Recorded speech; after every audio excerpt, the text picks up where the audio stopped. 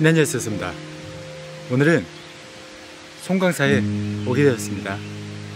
이 순천에 있는 송강사 같은 경우는 조계산이 품고 있는 제 3보 사찰 그리고 5대 사찰로도 알려져 있는 곳입니다.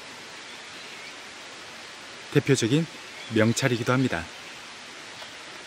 오늘 같은 경우는 이 송강사를 기점으로 굴목재를 지나 서남사로 향하는 산행을 한번 해볼까 하는데요. 오늘 이 조계산이 품고 있는 송광사와 서남사의 느낌과 분위기 그리고 이 조계산이 가지고 있는 느낌과 분위기를 함께 느껴보도록 하겠습니다.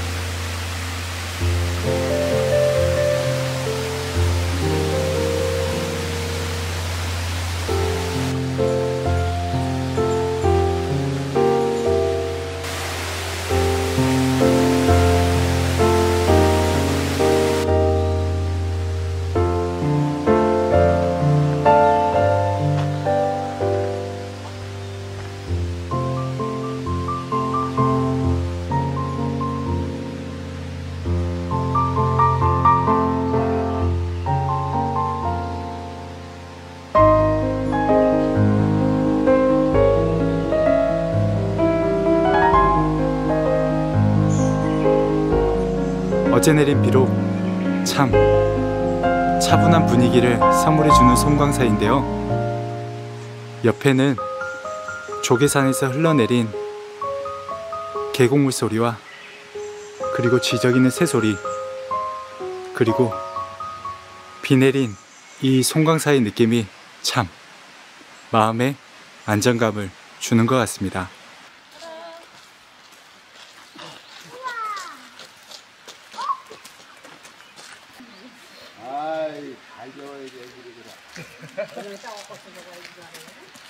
아유, 어, 이거 내가 지금 말하는 거 그냥.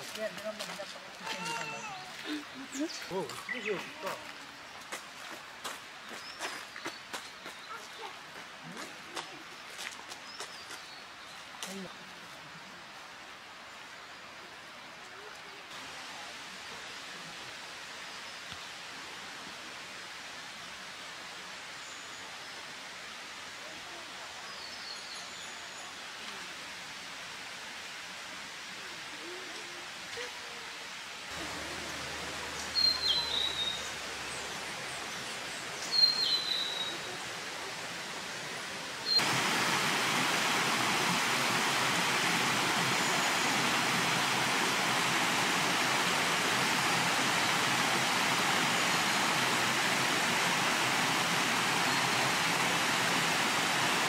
송광사에 들어오니 조계산의 계곡물 소리 옆에 이 무소유의 길을 거니는 이 느낌이 참 좋은 것 같습니다. 이름의 명칭에서 알 수 있듯이 송광사는 법정 스님께서 수행하고 살아온 사찰이기도 합니다.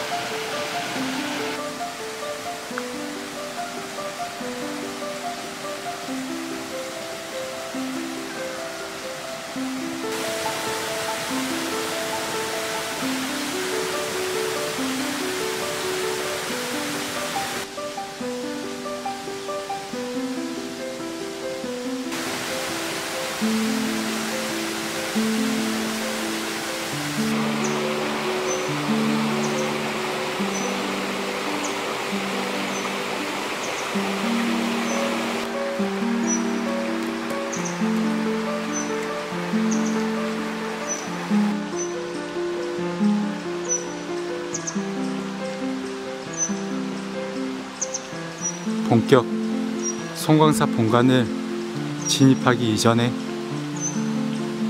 형백나무 숲길이 저희를 반겨주고 있습니다.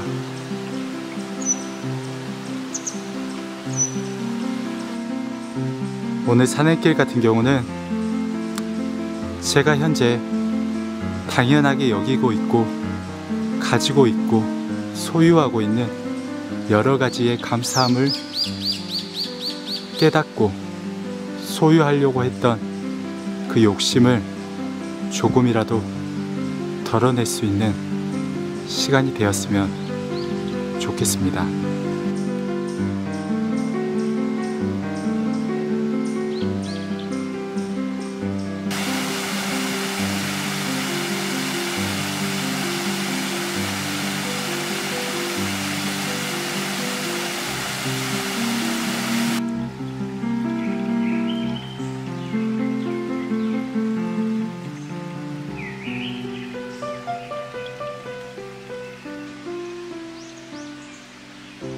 이제 본격 송광사 본관에 들어섰습니다. 송광사에 들어오니 전면에는 송광사를 품고 있는 조계산 정상 장궁봉이 보이기 시작하고요. 그리고 어저께 내린 비 덕분에 자욱한 구름이 낀 이 풍경이 참 멋스러운 것 같습니다.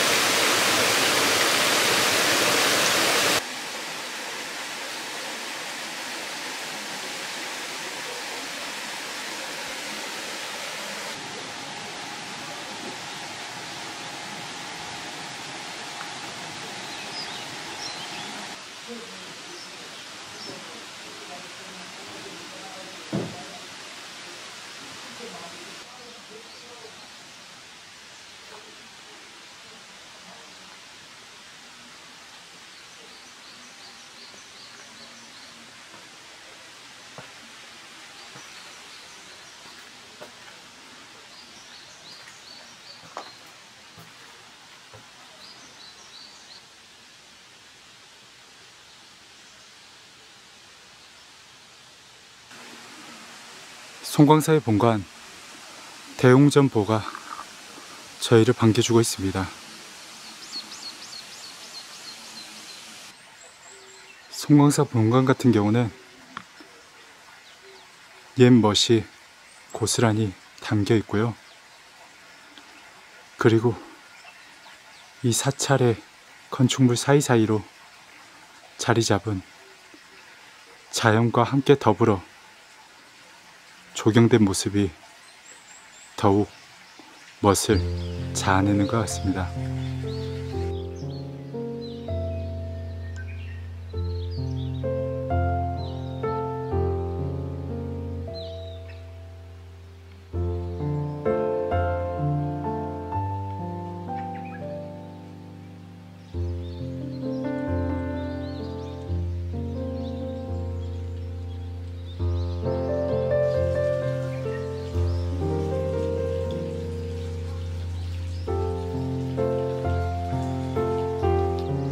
자연과 그리고 이 건축물이 함께 공존하고 그리고 자리 잡은 모습이 불교의 정신을 담는 것 같아 참 한층 더 멋을 자아내는 것 같습니다.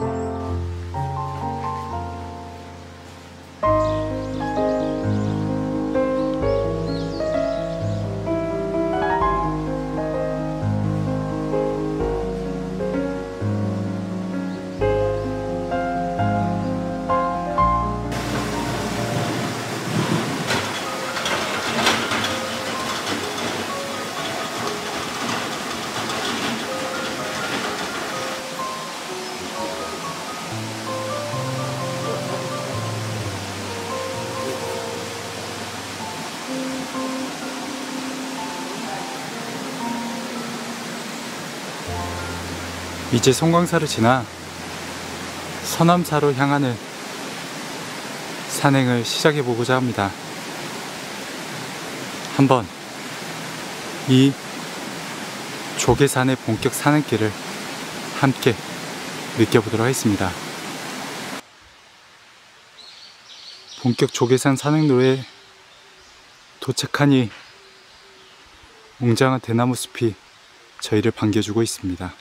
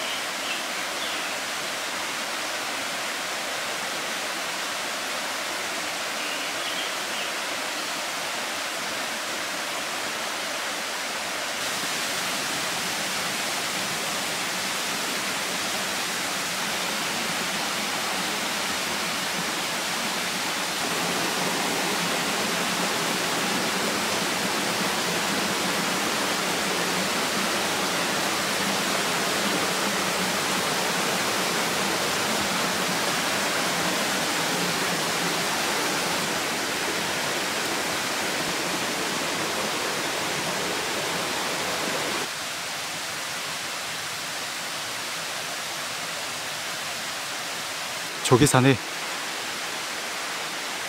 형제의 사찰 서남사가 나오게 됩니다. 서남사를 향하는 이 산의 길을 올라와 보도록 하겠습니다.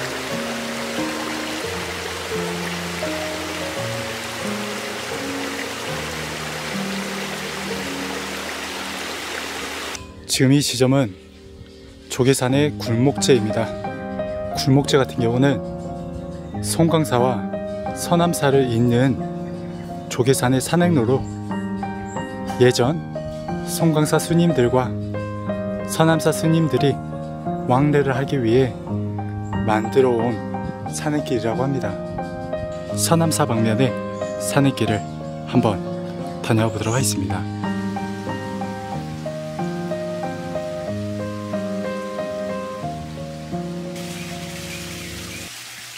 조계산 산키스가 안에 있는 보리밭집에 도착했습니다. 지금 시간이 좀 일찍이라 아직 식사는 못할 것 같고요. 한번 서남사를 지나 다시 송광사로 올라올 때 한번 이 보리밥집을 지나 식사를 하고 송광사로 복귀를 해보도록 하겠습니다.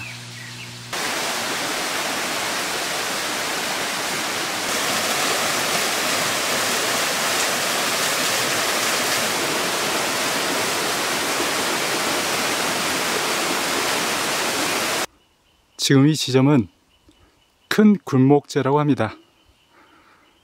굴목재라는 어원 자체가 두 개의 골짜기 사이에 자리 잡은 골목길이라고 하는 어원이 있다고 합니다. 조계산에는 총 3개의 굴목재가 있는데요. 우선 서남사 방면에 큰 굴목재, 그리고 장군봉을 향하는 작은 굴목재, 그리고 송광사를 향하는 굴목재가 위치하고 있습니다. 큰 굴목재 길을 따라 내려오다 보니 평백나무 숲길이 저희를 반겨주고 있습니다.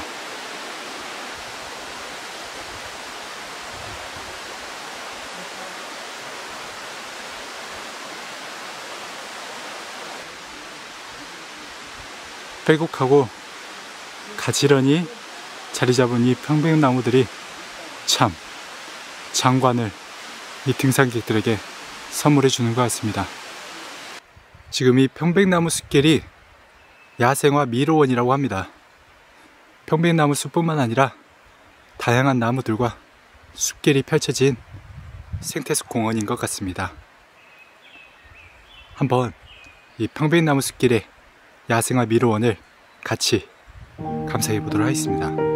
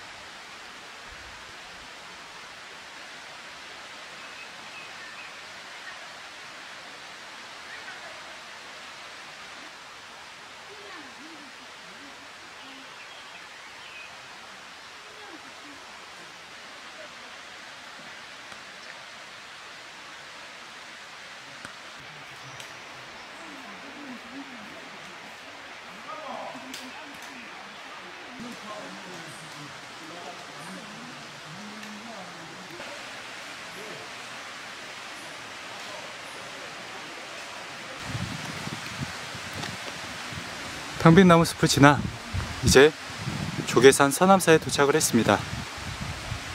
조계산 송광사에서 천년 불심길을 지나 이렇게 서남사에 도착을 했고요. 한 7km 내외 정도의 산행길을 시행을 했던 것 같습니다.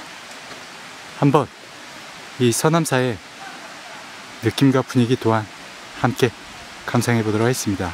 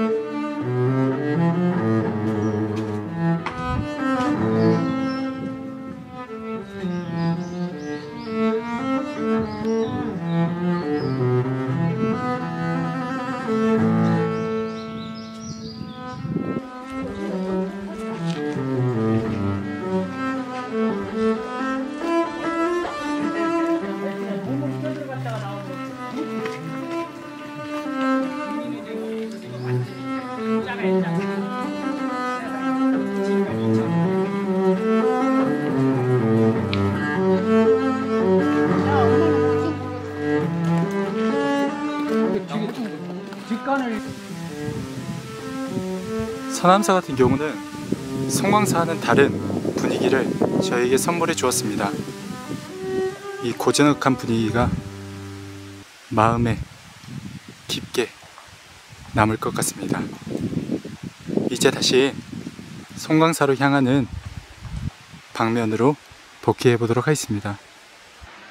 다시 송광사로 복귀하기 위해 천년 불심길에 원점 회기 방면을 향하고 있습니다.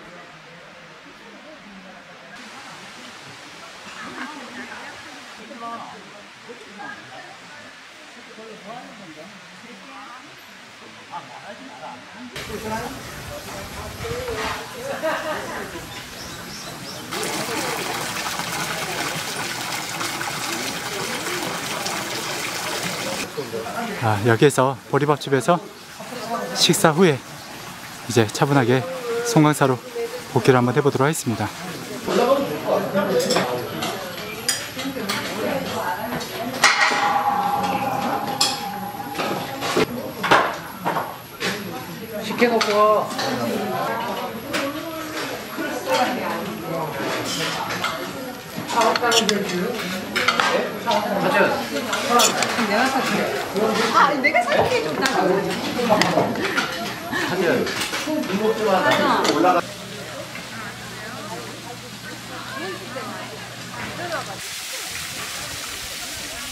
산행 후에 먹어서 그런지 아 너무나 맛있게 먹고요. 특히나 이 참기름과 그리고 배추김치가 참 기억에 남을 만큼 맛있었던 것 같습니다. 아, 왜 조계산의 이 보리밥집이 유명한지 먹어보니 좀 이해가 되는 것 같습니다. 이제 다시 송강사로 향해 보도록 하겠습니다.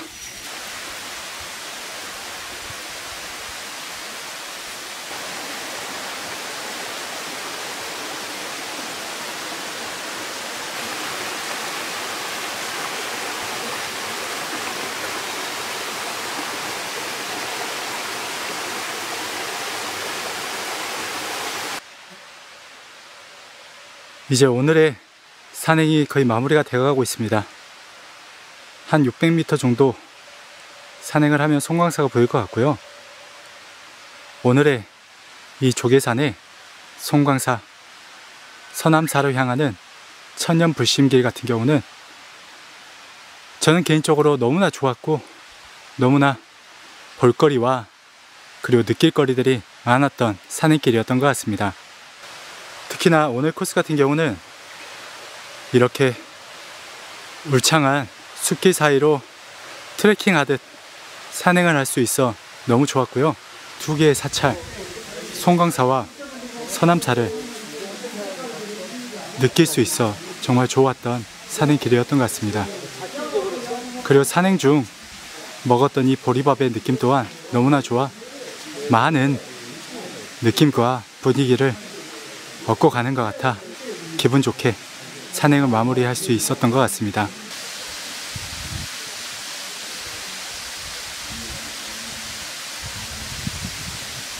조계산의 정상 장군봉 같은 경우도 확 트인 전경을 보여주진 않고 조계산의 산행 중에서도 확 트인 정상의 전경과 경치는 구경할 수 없는 산이긴 합니다. 확 트인 전경을 기대하고 산행을 하신다면 약간 아쉬움이 남을 만한 산행 코스이기도 합니다. 하지만 조계산 줄기를 따라 산행하는 이 느낌과 그리고 조계산이 품고 있는 송강사, 서남사의 이런 다채로운 느낌들과 그리고 조계산 안에서 먹는 이 산채 비빔밥의 그런 느낌 또한 다른 어떤 산에서도 느껴보지 못할 경험과 분위기이기 때문에 한 번쯤 방문해 보셔서 이렇게 조계산을 산행해 보신다면 참 기분 좋은 산행의 느낌을 가져가시지 않을까 싶습니다. 저 또한 오늘 너무나 기분 좋게 산행을 마무리하게 되어 조만간 다시 한번 이 조계산을 방문하지 않을까 싶습니다.